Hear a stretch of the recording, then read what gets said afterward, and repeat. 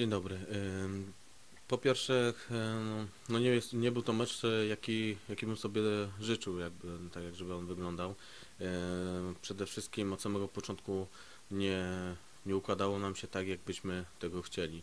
Szybko straciliśmy bramkę yy, i to był już dla nas duży, yy, duży problem, po czym mm, później tracimy zawodnika, nie mija chyba dwie minuty tracimy kolejnego gola i, i tak naprawdę w tym meczu no, nic, nic nie układało się po naszej myśli.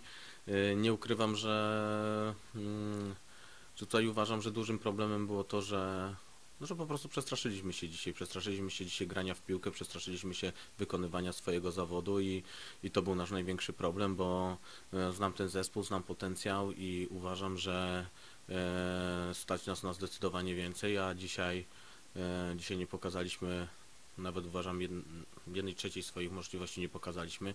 Także tutaj e, no, ze swojej strony jakiś tam spory mamy niedosyt i, no i musimy zacząć od siebie, zacząć od swoich głów i sobie odpowiedzieć na pytania, po co jeździmy na mecze e, i kiedy podnosimy rękawice, bo, no bo to musimy, e, mówię, jeżeli to sobie wyjaśnimy i ten zespół poczuje pewność siebie na boisku, to jest w stanie e, naprawdę grać bardzo dobrze w piłkę, a tego nam dzisiaj zabrakło.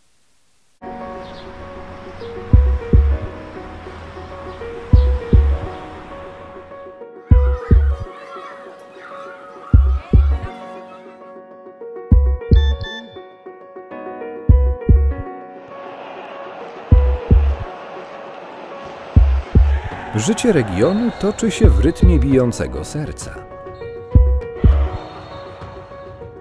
Gmina Polkowice. Serce Zagłębia Miedziowego.